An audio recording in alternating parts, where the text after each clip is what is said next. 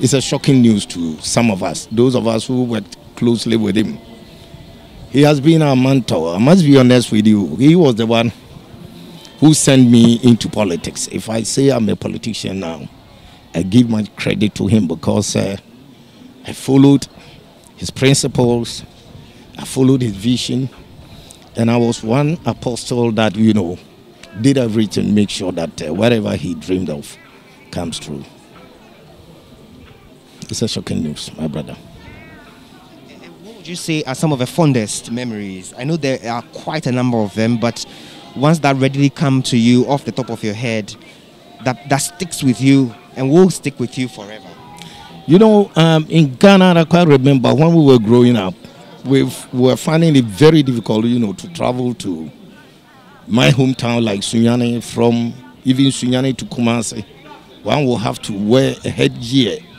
You need to borrow your wife's headgear to cover your head, else the dust that one will go through from Sunyani, that is about, let me say, 100 kilometers from Kumasi. You know, the whole uh, road was untarred. And he was the one who initiated asphalting of this road from Kumasi up to Domain Grove. So we give that credit to him. And I quite remember, we once went to Afram Plains.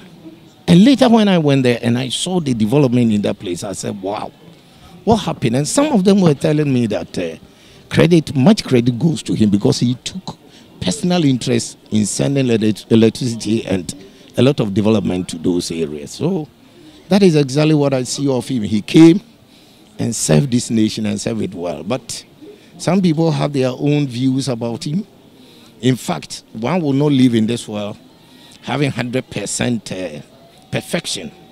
But the truth is that uh, the positive side far, far, far outweigh his negative uh, things that he came on this earth to do. You knowing him and working closely with him and being through thick and thin with him, are some of these concerns and perceptions of these individuals justified? I would not say it's justified because if you are very close or you happen to be very close to him, that you will know exactly what some of us have always been saying. Very much caring. He's somebody who want to kill himself to make sure that those around him are happy. You know, and he has always been commenting on the way some leadership are not accountable to the people.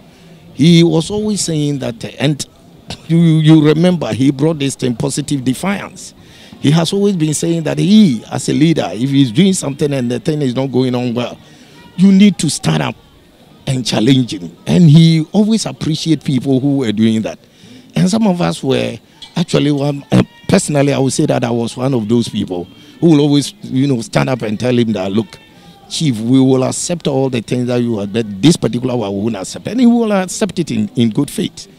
So those who were saying that he was uh, tyrant, let me put it that way, I did not see him as such. I saw him as somebody who was very caring, who will listen to people and understand the situation that one finds himself and will go at every length, you know, to solve problems of others. So that, that is that is him.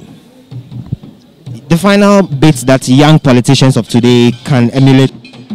He was accessible very accessible. He will get to the people.